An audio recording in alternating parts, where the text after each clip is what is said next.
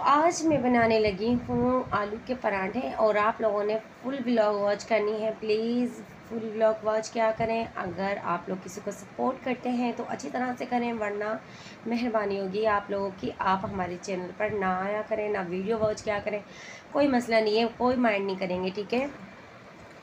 अस्सलाम वालेकुम my YouTube family. कैसे हैं आप सब? आए आप सब खैरियत से होंगे। आप सबकी दुआओं से जी हम भी बिल्कुल ठीक ठाक हैं। तो रमज़ान का सौदा में लेकर आ गई थी और चिकन वगैरह भी खाना वाना बनाने के लिए, शहरी के लिए। और जिसे छोले वगैरह भी काले वाले बनवाते हैं। हस्बैंड मेरे उन्हें पसंद हैं तो उनके लिए थोड़ा सा सामान जो रह गया था वो मैं लेकर आई हूँ और यहाँ पर मैं आज बनाऊँगी शामी कबाब भी और चटनी पीसेंगे टमाटर की और बनाएँगे आलू के पराठे। आप लोगों ने फुल ब्लॉग को वॉच करना है। मैं आलू मैंने उबालने के लिए रख दिए थे, फिर साथ में मैंने लगा ली थी मशीन और फिर बच्चों को शाम में तो मैंने चिप्स मंगा के दी, फिंगर और सैंडविच मंगा के दे दिए थे। ये अब हम शाम के छः सात बज रहे हैं, जिस वक्त हमारा सौदा आया और सौदे में मैं लेकर आई ये पत्ती, चीनी, आटा और आटा तो कहीं भी नहीं मिल रहा था कराची में और पाँच किलो भी सात सौ का मिला है और खुला मिला है मकसद।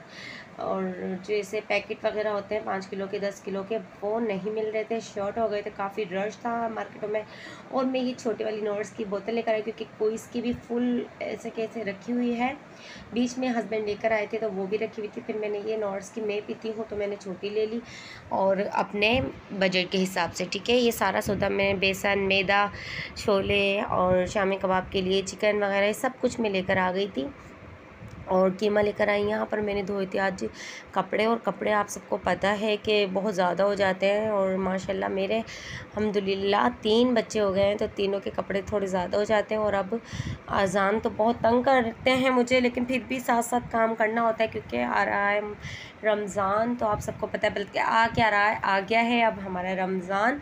तो सारे काम जल्दी जल्दी करने पड़ा करेंगे तो मैंने भी फिर जल्दी से आज आलू का ये भुरता भी बनाया थोड़ा सा रख दिया, आलू के समोसे बनाने के लिए, कल के लिए, क्योंकि मैं आलू के समोसे भी बनाऊँगी, पटियाँ भी बनाऊँगी, ये मैं आप सबसे शेयर करूँगी। मेरी अम्मी की, खालाओं की रेसिपी है, आटा, आटे मतलब मैदे के किस तरह से समोसे बनते हैं और किस तरीके से हम बना सकते हैं पटिया घर में, मैं आप सबसे शेयर कर दूँगी ये और देसी स्टाइल में मतलब समोसे किस तरह से बनाते हैं और मकसद हमारे वहाँ किस तरह बनाते पापड़ वापड़ भी अम्मी वाले तो ख़ुद घर में बनाते थे, लेकिन पापड़ भी इंशाल्लाह कभी ट्राई करेंगे, घर में बनाएँगे।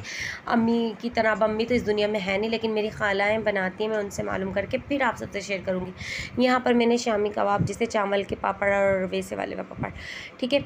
और यहाँ पर ये देखिए शामी कबाब का मैंने मसाला भी बना तो ये आलू का पराठा बनाया। वैसे और अच्छे बने, ये फ़र्स्ट था तो ऐसा बना छोटा सा, और टूटा फूटा फिर मैंने दो दो पीस मतलब रोटी बेल कर इस तरीके से बनाया तो अच्छे बने थे।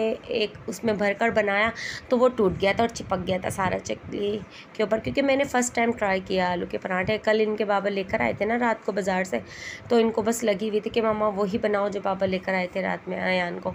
फिर मैंने सोचा, चलें, साथ में आलू का भुरता भी बना लूँ थोड़ा सा क्योंकि समोसे की पट्टी बनाएँगे तो समोसे बनाएँगे और फिर चिकन लेकर आई हूँ। कीमे के भी समोसे बनाएँगे और रोल बनाएँगे और ये छोले भी मैंने साथ साथ भिगो दिए, साथ साथ मैंने पीस भी लिया, सारा काम किया अपना और साथ में मैंने चटनी भी बना ली, टमाटर की मज़ेदार सी हमारी लाल टमाटर की लाल लाल चटनी और ग्रीन चटनी भी कल बनाऊँगी और मिर्च और लहसुन, अदरक ये भी पीस कर रखूँगी, आप सबसे शेयर कर दूँगी और यहाँ पर ये शामी कबाब का मसाला भी हमने रेडी कर लिया और रेशे वाला करा है सिल पर पीसा है क्योंकि तो वो रेशे रेशे वाला इतना मज़ेदार बनते हैं शामी कबाब तो वो भी मैं कल जैसे शॉपर वगैरह मंगाऊँगी जो जिग वाले बैग होते हैं मतलब उसमें रखने के लिए।